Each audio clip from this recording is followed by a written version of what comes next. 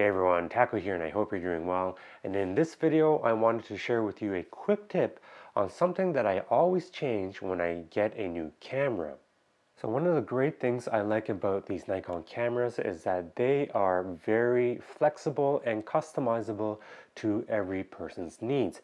So what I mean what I mean by that is many of these buttons here, these function buttons and some of these buttons like the OK button are actually programmable to do different things depending on what the user wants them to do.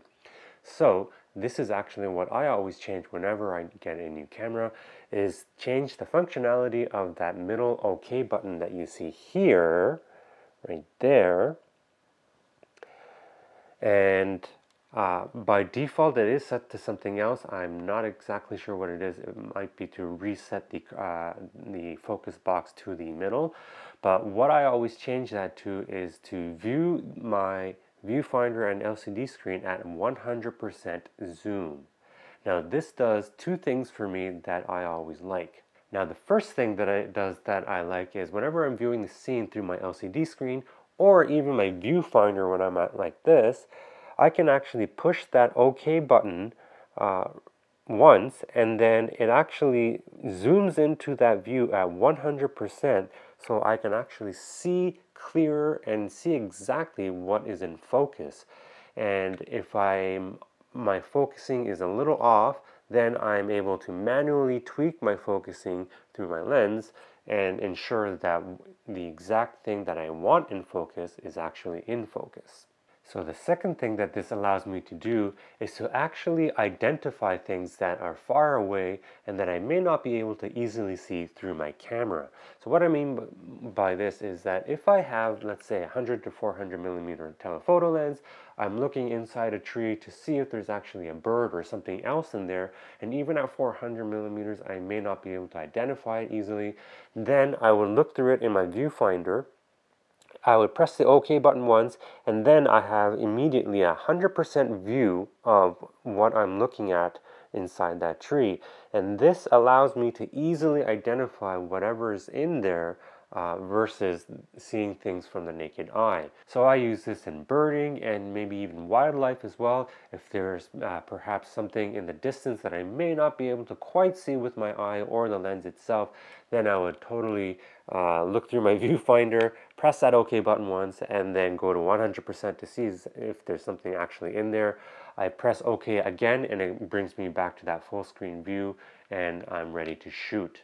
One of the advantages of doing this is that at 100% when you know what you're looking at, you can also press the autofocus button and it will actually autofocus on whatever you're looking at and then you can guarantee that your focusing is pin sharp on the exact uh, place that you uh, wanted the focus to be on.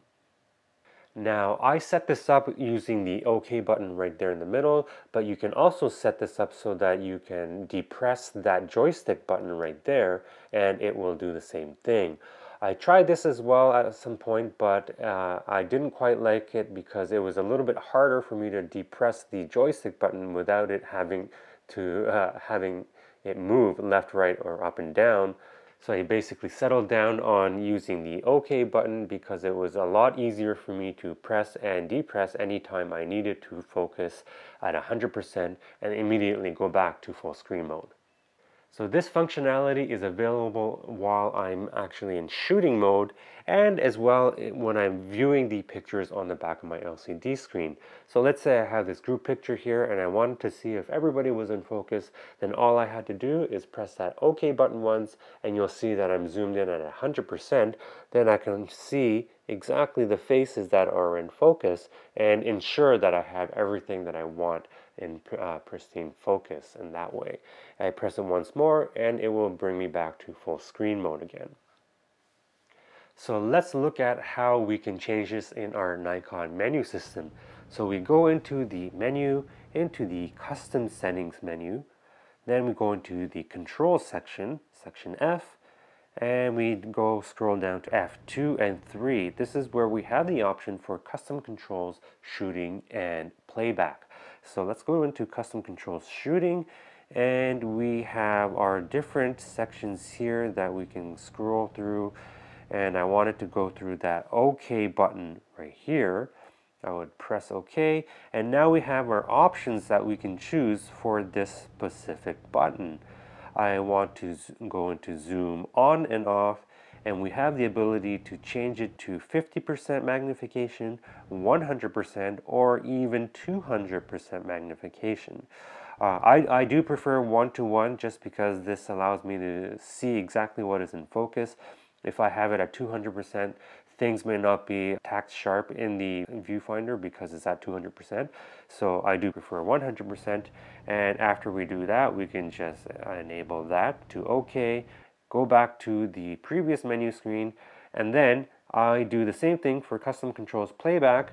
I move over to the OK button there, and then I'm going to zoom on and off to 100% and then this allows me to do exactly what I said. When you're viewing the image on the back of your screen, it allows you to zoom in at 100%, allowing you to see exactly what is in focus on those images. So that's how you set it up on your Nikon cameras. Uh, for other cameras, you probably have something similar in your menu, so I encourage you to check that out yourself. So that's the tip for the day. I hope you enjoy it. Do you use the same functionality as I do? Uh, perhaps on other manufacturers of cameras, they may have similar functionality as well. Do you do the same thing? Uh, I always encourage people to try and customize their own camera to their own liking because everyone has their own different workflows and this works for me. I hope uh, this may work for you as well, so you may want to try it out yourself. Thanks so much for watching my video. I hope to see you in the next one. Take care.